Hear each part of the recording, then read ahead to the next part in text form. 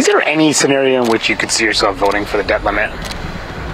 Uh, no. In seven days, America will default on its debt unless Congress acts to raise the debt ceiling. The world economy would be thrown into chaos, and this is how the GOP is responding. Here's what's happening in our conference. We're not sweating this at all. No one is concerned. If we defaulted, it would be catastrophic. That it would make the 2008 global financial crisis look like a tea party. Maybe you just made the whole thing up and we're not going to default on June 1st. We're talking one in every 20 people losing their jobs. Then there could be a default then.